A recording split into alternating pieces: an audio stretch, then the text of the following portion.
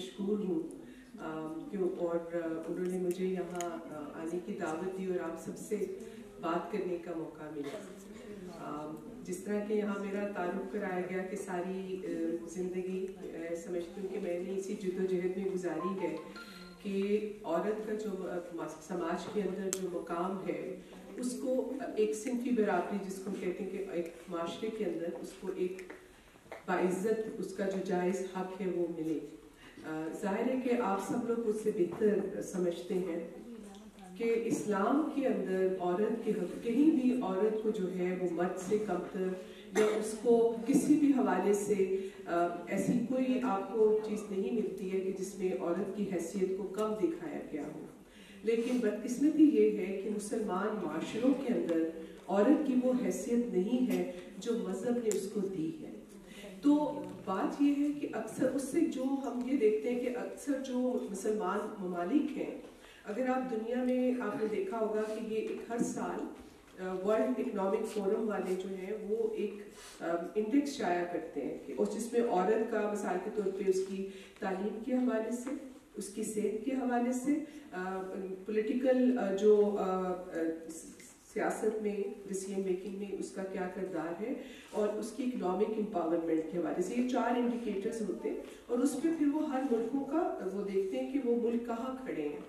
تو جتنے بھی اسلامک ممالک ہیں وہ سب سے نیچے ہوتے ہیں اور پاکستان آپ کو پتہ ہے کہ پچھلے سال جو رپورٹ آئی، ایک سو one hundred and forty nine countries کا جو انڈیکس تھی، اس میں Pakistan hundred and forty eight number پہ تھا۔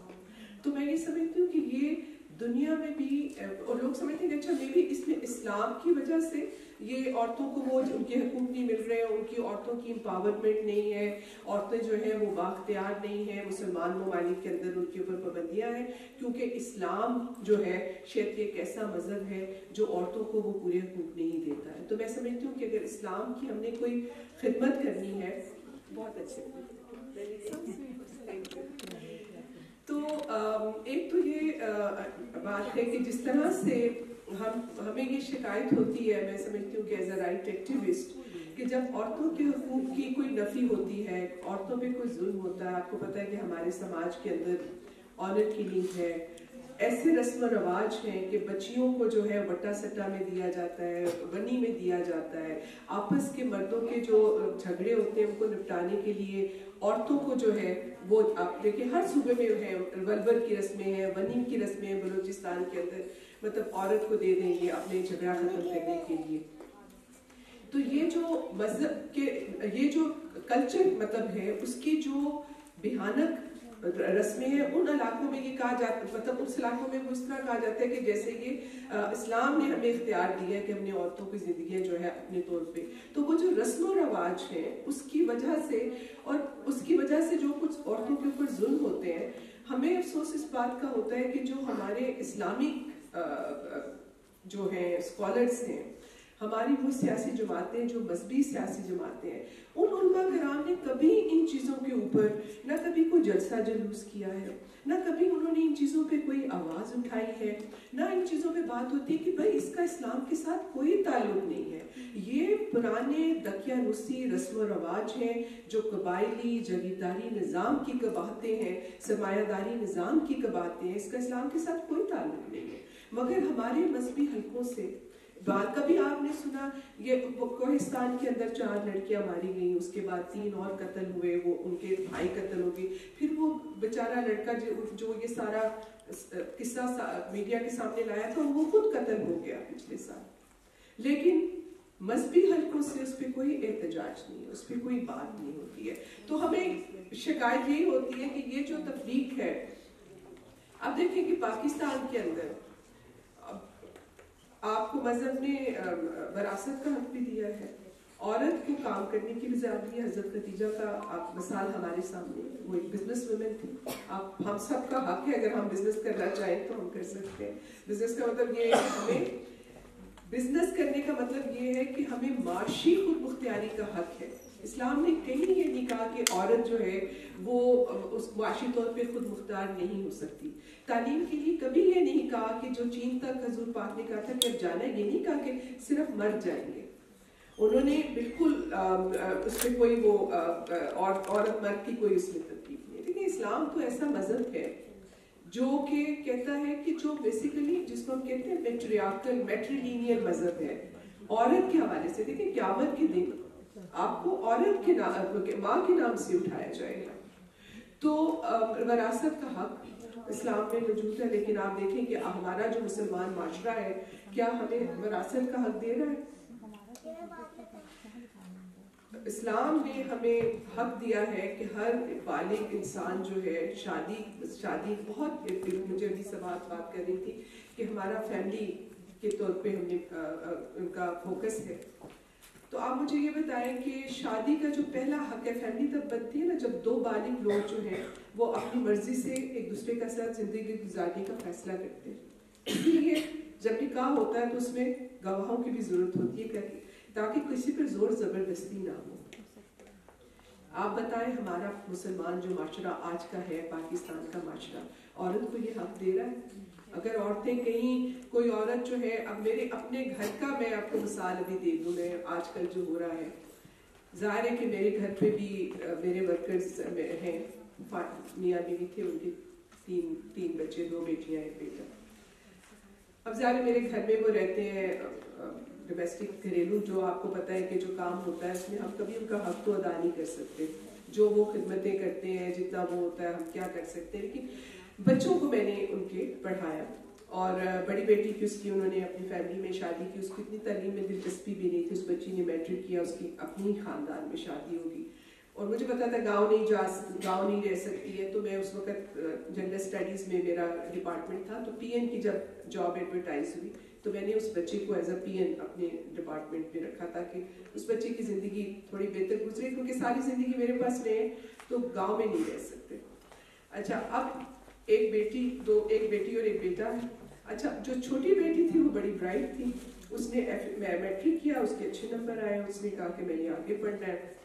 ماں باپ سے بھی میں نے بات کی اجازت اس نے ایف اے ایف اے میں وہ اپنا کیا، پھر بی بی اے کی ڈگری پھر اس نے کہا میں نے بی بی اے کرنا ہے تو میں نے کہا ٹھیک ہے اسی کالج سے کر لو تو اس نے کہا نہیں اس کالج کی پڑھائی اچھی نہیں ہے تو میں پنجاب کالج سے کروں گی تو میں نے کہا چلو وہاں سے کر لو اب بی بی اے کی اس کی ڈگری ہو گئی ماشاء اللہ سے تو اب ہوا یہ کہ اس کی ماں نے مجھے ان کو پتا ہے میرے خیالات کا تو کبھی مجھے نہیں بتایا تھا تو جب وہ کوئی چودہ کا سال کی تھی تو جب یہ گاؤں گئی تو وہاں انہوں نے اس کا نکاح کر دیا تو ایک دو تین سال کے بعد مجھے پتا چلا کہ نکاح ہو گیا۔ اب وہ بچی مسلسل کہہ رہی تھی کہ مجھے شادی نہیں کرنی اس لڑکے سے کیونکہ وہ خاندان میں ہی ہے۔ مطلب جس، جو میرا ان کا باپ ہے، وہ اس کا بھائی ہے بھائی کا بیٹا ہے۔ اچھا جو بڑی بیٹی کی جس سے شادی ہوئی ہے نا جس لڑکے سے، یہ لڑکا بھی اسی کا چھوٹا بھائی ہے۔ اب یہ بچی بار بار کہہ رہی کہ میں نے اس سے شادی نہیں کرنی ہے، وہ لڑکا بالکل پڑھا لکھا نہیں ہے۔ اب ظاہر ایک بچی نے بی بی اے کیا ہے۔ وہ سوچ رہی ہے کہ کل کو میں نے جا کے کسی بینک میں بیٹھنا ہے، میں نے کوئی جاب کرنی ہے، میں نے کسی کے گھر میں کام نہیں کرنا۔ وہ اپنی زندگی میں اختیار ہونا چاہ رہی ہے، لیکن ماں باپ نہیں مان رہے تھے۔ اب وہ بچی کو بھی میں نے میرا بھی تھا کہ بھائی ٹھیک ہے، پھر اپنے لیے تم سٹینڈ لو اور اس وقت وہ پھر ماں باپ نے بہت اس کو ایموشنلی کیونکہ میں تو اس کا ساتھ دے رہی تھی کہ سٹینڈ لو اور میں تمہارے ساتھ ہوں، تو وہ ماں باپ نے ظاہر ہے کہ بڑا مجبور کیا اس کو کہ ہماری عزت، وہ آپ کو پتا وہی بات ہوتی ہے، گاؤں میں عزت کا معاملہ ہے، دوسری بہن کا گھر بھی خراب ہو جائے گا، اس کے چار بچے ہیں۔ بہرحال پریشر میں وہ بچی نے کہا کہ ٹھیک ہے۔ تو میں نے کہا بھی تم ایک بالغ بچ، عورت ہو، اپنی زندگی کا فیصلہ تم نے خود کرنا میں تو تمہاری ذمہ داری نہیں لے سکتی نا، میں تو نہیں کہہ سکتی کہ اچھا میں تم ضرور یہ کرو، کیونکہ کل کو تمہاری زندگی میں جو مسئلے مسائل ہوں گے، اس کی ذمہ داری میں تو نہیں لوں گی۔ اگر تم خود فیصلہ کرو گی تو پھر اس کی ذمہ داری بھی تمہاری ہوگی۔ تو بات وہ اس نے کہا، نہیں، میں اپنے ماں باپ کی لیے قربانی دے دوں گی دولت۔ تو میں نے کہا، بھلے سے۔ اب وہ شادی کی آپ سمجھے تیاریاں ہو رہی تھیں بیچاریوں کا سارا خاندان بھی اکٹھا ہو گیا۔ اب اس بچی نے، اس نے پوری فیملی نے جانا تھا ہفتے والے دن۔ کیونکہ یہ بچے جب، یہ نا جب پڑھتے ہیں تو یہ میرے ان کا اوپر وہ سیون کوارٹر ہے، تو یہ نیچے میرے ڈائننگ روم میں آ کے بیٹھ کے بچے پڑھتے ہیں۔ بیٹا بھی اس کا بیٹی بھی نا۔ تو فرائیڈے دن والے دن وہ نیچے آ کے بیٹھ گیا۔ میں نے یہ ویسے ایک دم کھڑے کھڑے ہی مجھے یہ خیال آ گیا کہ قصہ یہ آپ کو سنا دوں۔ تو وہ بچی جو ہے، گھر چھوڑ کے چلی گئی۔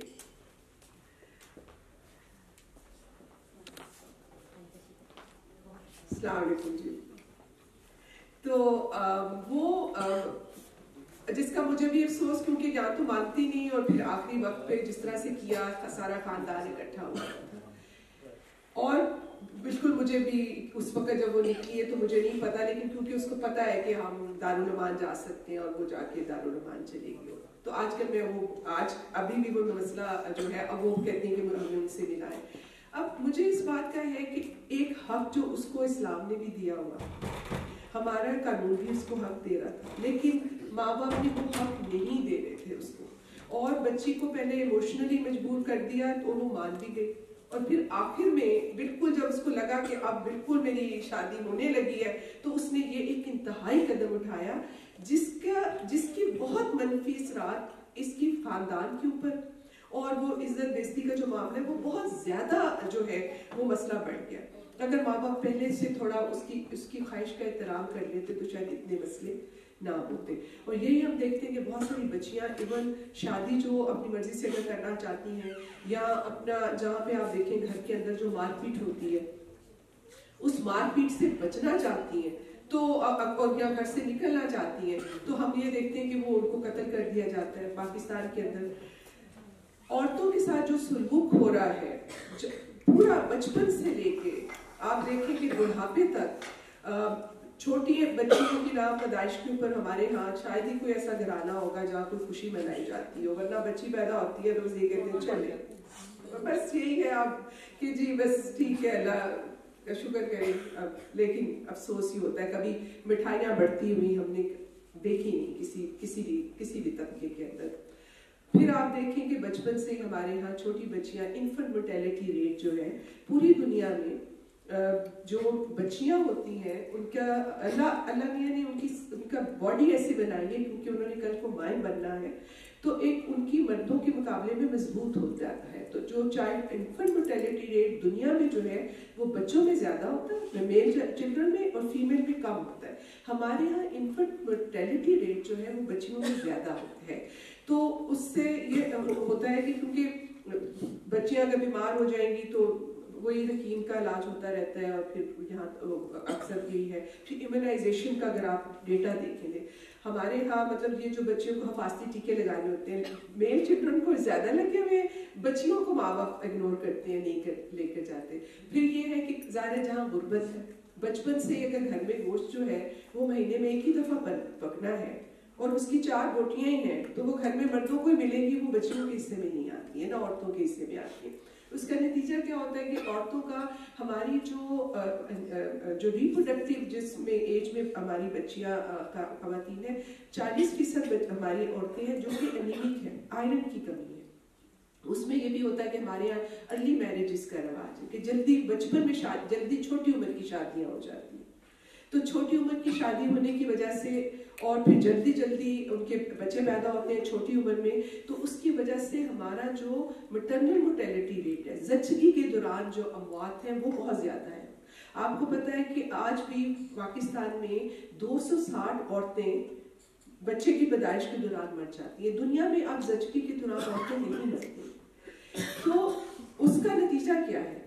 کہ آج کا جو پاکستان کا مسلمان سماج ہے، کیونکہ آپ کو پتا ہے کہ ہم میجورٹی ہمارے تین فیصدی لوگ رہ گئے ہیں جو کہ غیر مسلم ہیں۔ باقی تو ہم ستانوے فیصد لوگ ہیں جو کہ مسلمان لوگ ہیں۔ تو ہمارے ہاں خواتین جو ہیں، وہ مردوں کے مقابلے میں کم ہیں۔ ابھی جو پچھلا ہوا ہے نا، آبادی کا جو سینسس ہوا ہے، اس کے اندر عورتیں فورٹی نائن پرسینٹ ہیں اور مرد جو ہے وہ ففٹی ون پرسینٹ ہے جبکہ پوری دنیا میں یہ ادر میں ہوتا ہے۔ مرد ففٹی عورتیں ففٹی ون پرسینٹ ہوتی ہیں اور آدمی ففٹی پرسینٹ ہوتے ہیں۔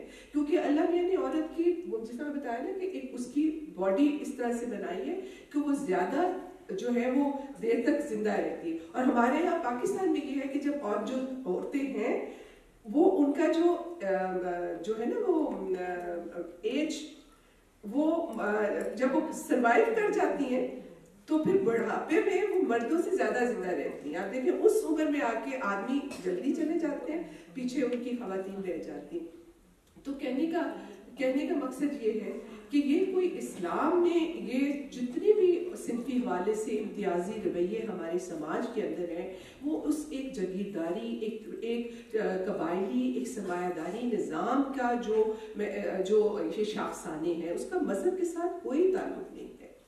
آپ دیکھیں کہ مذہب کے، مذہب نے کہیں یہ نہیں کہا، جب ہم کلمہ پڑھتے ہیں، لا اللہ محمد رسول اللہ، ہمیں کہیں نہیں کہا گیا کہ میں گواہی دے تو کبھی کہیں نہیں کہا گیا کہ کوئی آپ کو دو گواہی، آپ کے ساتھ کوئی کسی ایک اور مرد کی یا کسی ایک عورت کی گواہی کی ضرورت ہے۔ قیامت کے دن جس سے میں نے کہا کہ عورتوں کو مطلب سب کو ماں کے نام سے ہی اٹھایا جانا ہے۔ اور تقوی، اور کہیں کہیں کسی برتری کا ذکر نہیں ہے سوائے اس کے کہ جس کو تقوی کے اوپر برتری ہے ہے۔ نہ گورے کو کالے پہ، نہ عربی کو اجبی پہ۔ اگر کسی کو برتری ہوگی تو وہ تقوا کے حوالے سے۔ تو اس کے اندر یہ نہیں ہے کہ اگر عورت تقوا میں زیادہ ہے تو تب بھی اس کو اللہ یا کوئی ڈسکریمنیٹ کرے گا۔ تو دیکھیں ایشو یہ ہے کہ ہم ہم ہم نے ایک بہترین خاندان اگر بنانا ہے، ایک اسلامی سماج کے اندر جو تصور ہے خاندان کا، وہ ایک ڈیموکریٹک ایک جمہوری خاندان ہے۔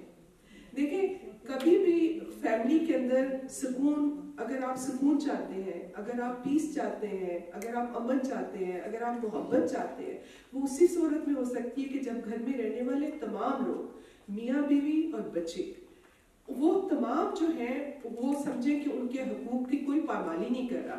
ہمارے ہاں یہ بھی ہے نا کہ ماں باپ بھی بچوں کے حقوق جو ہے وہ اس کو کر رہے ہوتے ہیں اس کی پامالی کر رہے ہوتے ہیں، جس کا کوئی تصور موجود نہیں ہے۔ بچوں کو مار پیٹ کرنا۔ اور مائیں بہت مار پیٹ کرتی ہیں۔ اور ماں کو یہ سمجھنا چاہیے کہ اللہ میاں نے ان کو یہ حق نہیں دیا کہ وہ چھوٹے بچوں کے اوپر جو ہے وہ ان کے اوپر جسمانی تشدد کرے۔ محبت میں کرتی ہیں، کچھ کرتی ہیں ہم سب نے۔ ہم نے خود بھی بچپن میں مارے کھائے ہوئی ہیں۔ تو یہ ان کا حق نہیں ہے۔ اور یہ ماں باپ کو سمجھنا ہے کہ بچے کی تربیت کو ہم نے کس طرح سے کرنا ہے کہ بغیر مان پیٹ کے بچہ جو ہے وہ صحیح سرات مستقیم پر چلنے کے قابل ہم بنائیں اس کے اندر ایسی انسانی قدریں پیدا کریں ایسی اخلاقی قدریں پیدا کریں ایسی تربیت کریں جو اسلامی اصولوں پہ ہو۔ اور اسلام کے اصولوں کے اندر جو ہے وہ کسی کے ساتھ زیادتی کا زیادتی کا تصور موجود ہی نہیں۔ ہے کہ کوئی کسی کے اوپر ظلم کرے۔ نہ یہ کہ گھر کے اندر اللہ میاں نے یعنی کوئی یہ حق نہیں دیا کہ مرد جو ہے، شوہر جو ہے، وہ عورت کو مار سکتا ہے۔ یہاں پہ اسکالرز بیٹھے ہوئے ہیں کونسل آف اسلامک آئیڈیالوجی سے میں اتنی ضرورت نہیں کر سکتی، لیکن یہ میں آپ کے ساتھ شیئر کرنا چاہوں گی کہ ایون صورت نساء کو غلط ایک طرح سے میں سمجھتی ہوں کہ یہ اس کی مس انٹرپریٹیشن ہے، جس میں کہا جاتا ہے کہ اللہ میاں نے اختیار دیا ہے صورت نساء میں کہ اگر عورت نافرمانی کرتی ہے تو مرد اس کو مار سکتا ہے، چھڑی کے ساتھ مار سکتا ہے اور اس کو بند کر سکتا ہے کہ یہاں اس کو موت آنے۔ لیکن جو دنیا میں مسلمان، جو فیمنسٹ اسکالرز ہیں انہوں نے جو سورت نساء کا ترجمہ کیا ہے، اسی چیز کا۔ وہ کہتی ہے کہ عربی میں زربون لفظ کا مطلب جو ہے، عربی زبان آپ کو پتہ ہے، بہت ہی دنیا کی پچیدہ کمپلیکس زبانوں میں سے ایک ہے۔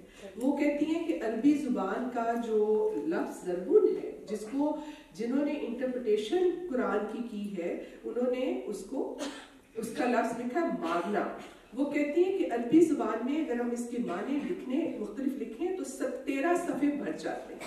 اب اس میں ایک خاتون ہے، مراکش کی فاطمہ مرنسی۔ اسلامک اسکالر ہے، عربی زبان کی بہت اس کو وہ ہے۔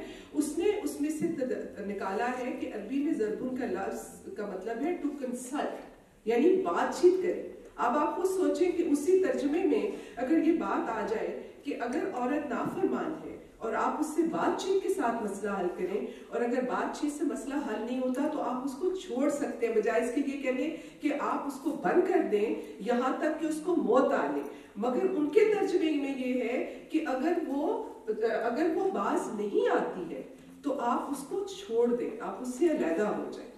تو صورت نساء کا یہ ترجمہ آپ نے کبھی پڑھا ہے؟ آپ قرآن ابھی گھر جا کے آپ کھولیں اور صورت نساء کا آپ ترجمہ پڑھیں، تو آپ کو وہی ترجمے جو مرد حضرات نے کیے ہوئے ہیں، انہوں نے اپنی مرضی سے وہ ضربن کا وہی مطلب نکال کے وہاں ٹوک دیا ہے کہ پھر مرد کو اختیار ہے کہ وہ عورت اگر نافرمانی کرتی ہے تو وہ اس کو مار سکتا ہے۔ تو یہ یہ کہنے کا مقصد یہی ہے کہ یہ اسلام کو اگر ہم نے ہم مسلمان عورتیں اور ہم نے اگر اپنے مذہب کو بچانا ہے، تو ہمیں ایک تو یہ ہے کہ یہ جو، جس کو میں کہتی ہوں، ملا کی انٹرپریٹیشن اسلامک اسکالر کی نہیں، جو مولوی، جو کہ جس نے پانچ جماعتیں نہیں پڑھی ہیں، وہ آج ہمیں بتاتا ہے کہ ہمارا مذہب کیا ہے۔ آپ اور ہم کیوں نہیں بتا سکتے؟ ہم کیوں اسلامی جو ہے سٹڈیز کے اندر ہم کیوں پی ایچ ڈی ڈگریز کر کے اس کے اوپر بات نہیں کر سکتے؟ ہم کیوں عربی زبان کو کیوں نہیں پڑھتے؟ کیوں نہیں سمجھتے تاکہ قرآن کو ہم کیوں اپنی ایک اردو میں ایک سمجھنے کے لیے دیکھیں، پڑھنے کو ثواب کے لیے ہم عربی میں پڑھتے ہمیں کچھ پتا نہیں ہم کیا پڑھیں لیکن سمجھنے کے لیے ہم اردو کے ترجمے پڑھتے ہیں۔ تو اردو کے ترجمے میں وہ تمام امتیازی چیزیں جو اس کو ہم کہتے ہیں پٹریاکل پدر شاہی کی سوچ کے اظہار اس کے اندر موجود ہے۔ تو ہم عورتیں جو ہیں، یہ کیوں ذمہ داری نہیں لیتی ہیں کہ ہم جو ہے عربی زبان کے اوپر جو ہے مہارت حاصل کریں، عربی زبان کو سمجھیں، قرآن کے ترجمے ہم بھی کریں؟ کہیں یہ نہیں لکھا کہ عورت جو ہے وہ قرآن کے ترجمہ نہیں کر سکتی ہے۔ بہت شکریہ۔ تو کہنے کا مقصد یہ ہے کہ بات میں یہی ختم کرنا چاہوں گی کیونکہ میرا ٹائم بھی ختم ہو گیا کہ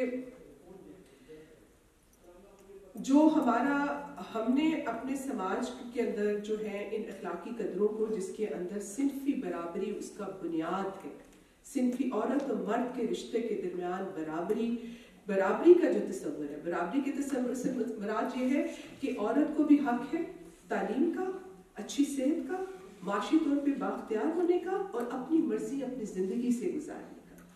کسی بھی بالغ عورت کے اوپر، کسی بالغ مرد کا یہ اختیار نہیں ہے کہ وہ اس کی زندگی کے فیصلے کرے، وہ اس کی زندگی کے تعلیم حاصل کرنے میں رکاوٹ پیدا کرے، صحت کے حوالے سے اس کی زندگی میں رکاوٹیں پیدا کرے، معاشی طور پہ اس کو خود مختار بنانے کے حوالے سے اس میں رکاوٹیں پیدا کرے۔ یہ اختیار اسلام نے، مذہب نے مرد کو نہیں دیا ہے۔